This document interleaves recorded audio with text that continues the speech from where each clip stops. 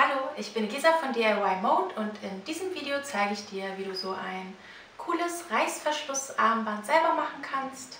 Wenn du wissen möchtest, wie es funktioniert, dann bleib einfach dran.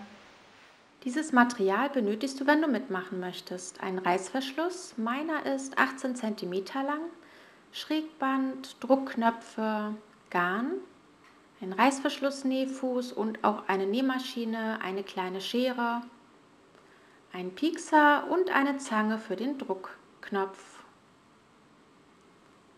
Als erstes müssen wir die Klebe, die verwendet wird, um den Reißverschluss zusammenzuhalten, auseinanderschneiden. Unten ging das recht einfach, einfach in der Mitte reinschneiden und oben muss man ein paar Zähnchen entfernen. Man sieht das aber auch sehr gut, wo die verklebt sind. Also das einfach nur wegschneiden auf beiden Seiten natürlich.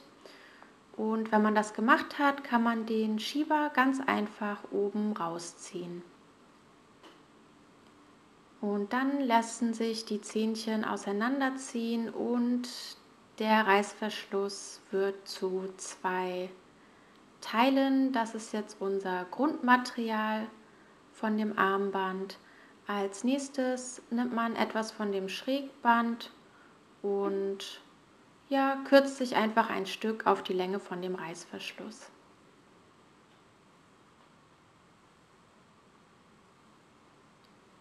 Das Schrägband einmal in der Mitte falten. Man kann es auch vorher bügeln. Und dann oben mal so in etwa 1 cm umschlagen und das dann dort an den Reißverschluss legen, wo auch die Zähnchen beginnen und das Ganze feststecken. Das Feststecken ist eventuell so schon mit der schwierigste Part an dem Armband. Es würde helfen, wenn man den Reißverschluss einfach vorher schon mal zusammennäht. Das sieht man dann ja auch nicht, weil da dann das Schrägband drauf kommt. Aber ja, könnt ihr einfach schauen, ob es schwierig für euch ist oder ob ihr das gut hinbekommt. Oben legen wir auch wieder ein Teil um, so hat das Schrägband überall saubere Kanten und dann können wir damit zur Nähmaschine. Wir brauchen auch natürlich einen Reißverschluss-Nähfuß, um das Schrägband anzubringen. Mit einem normalen Nähfüßchen würde es nicht funktionieren, weil wir dann ja über die Zähnchen nähen würden und das wäre etwas schwierig. Jetzt steppt ihr einfach das Schrägband auf den Reißverschluss drauf, rundherum. Und wer es nicht ganz so schlicht mag, könnte sich auch das Schrägband vorher schon mit Zierstichen ein bisschen verschönern. Ich fand jetzt aber die Kombi aus zwei Farben auch ganz schick. Vergesst nicht, ein kleines Stück zu verriegeln, damit das Schrägband auch lange auf dem Armband drauf bleibt.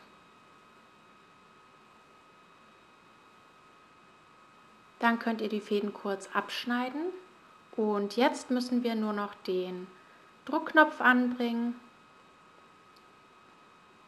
Dafür nehme ich den Piekser und steche einfach mal so in der Mitte von dem einen Ende den Reißverschluss durch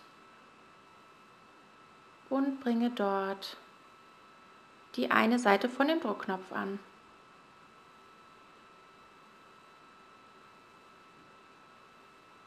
Die Teile sollten möglichst gerade übereinander liegen. Dann steckt man die in die Klammer zwischen diese Plastikteile und muss sehr, sehr kräftig drücken, damit die dann auch gut zusammen halten. So sieht das Ganze jetzt aus.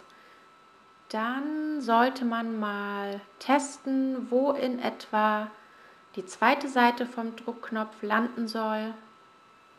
Ganz wichtig ist auch, dass ihr den zweiten Druckknopf oder die zweite Seite vom Druckknopf jetzt richtig rum anbringt. Und zwar genau entgegengesetzt von dem ersten, den ihr angebracht habt. Also diesmal nicht von oben den Deckel durchstechen, sondern von unten. Da hilft es auch, wenn man dann auch von unten mit dem Piekser durchgeht. So, und jetzt einfach das gleiche nochmal machen.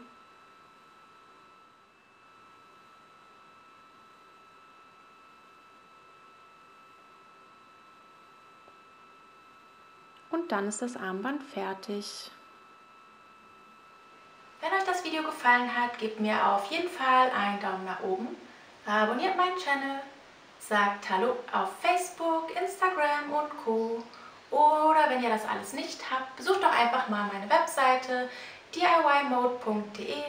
Da gibt es einen Newsletter, dort könnt ihr euch eintragen und auch so würdet ihr nie wieder ein neues DIY von mir verpassen.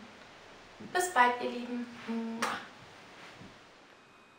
Wenn ihr Lust habt, noch ein Video von mir zu schauen, habe ich hier zwei Vorschläge für euch, auch rund ums Thema Schmuck. Und zwar das letzte Video, wo ich auch ein schönes Armband gemacht habe oder eins meiner ersten Videos, ein ganz kurzes, in dem ich zeige, wie man einen schönen Ohrringständer machen kann.